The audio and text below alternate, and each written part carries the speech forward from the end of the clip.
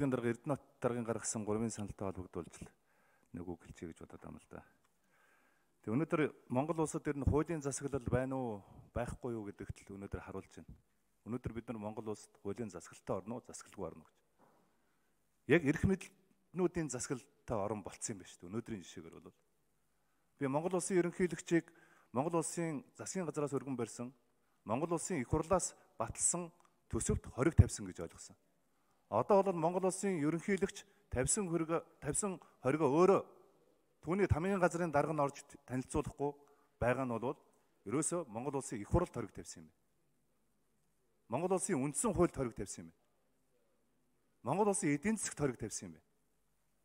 Ийм байж болох уу? Монгол улсын ерөнхийлөгч, улсын их хурлын гишүүд бид нар бүгдээрээ төрдөө тангараа өргөсөн шүү дээ. Ард түмний элч байна улс орныхоо эрх ашгийг бид нар эрхэмлэн дээдлэнэ гэж. Монгол улсын төсвөөс илүү эрхэмлэн дээдлэх ийм том эрх ашиг гэж өнөөдөр биднэрт байгаа юу? Эдийн засаг чинь хоригтой болчиход шүү дээ ерөнхийдөө. Нүүрс чинь гарахаа болчлоо. Экспортын бүтээгдэхүүнүүд гарахаа болчлоо. Одоо ингээд Монгол улс төсөвгүй болж шүү дээ. Яг хориг тавьснаар бол Монгол улс төсөвгүй болж байгаа. 2019 онд. Инх юм бол энэ цалин тэтгэр тэтгэмж авж байгаа энэ улсууд чинь 2019 оны 1 сарын 1-ээс ахуулаад цалин тэтгэрв. Жинхэнэ утгаараа Монгол эмх самбаргүй байдал бий болж байгаа. Монгол улсын ерөнхий сайд хүн одоо ингээд улсын их хурлын бүрийн эрх талдж байгаа ийм увайгүй үйлдэл хийж эн чинь өөрөө үндсэн үйлж ирчихэж шүү дээ. Эн чинь өөрөө огцруулах хүндэслэл нь мөн шүү дээ. Зүгээр нь улс төрийн намын дарга хүн ингээд төрийн дээр гарч сууж болдг юм уу? Эрх баригч намын дарга болохоос биш Монгол улсад байгаа 27 намын даргын нэг адилхан шүү дээ. Ингэж төрийг бойкотлж болд юм уу? Ингэж улс орныхоо хувь заяагаар бойкотлж болд юм уу? Аимшигтай юм болж штэ гадуур. Сая яагаад зэвсэгтүчний Жанжин Шатабын даргаыг чөлөөлөв? Яагаад чөлөөлөв? Ямар үндслээр чөлөөлөв? Оросын Батлан хамгааллын сайд Чого сайд дээрээ танк зэвсэг өгсөн байна. Яах ч энэ танк зэвсгээр? Монгол улсын ерөнхий сайд нь намынхаа байранд эрх баригч намынхаа байранд 300 гаруй офицерууд цуглуулад зэвсгэл зэвсгэл тэмцэлд бослогод уриалаа сууж шít. Энэ үндсэн үйл зөрчиж гэнэ үү?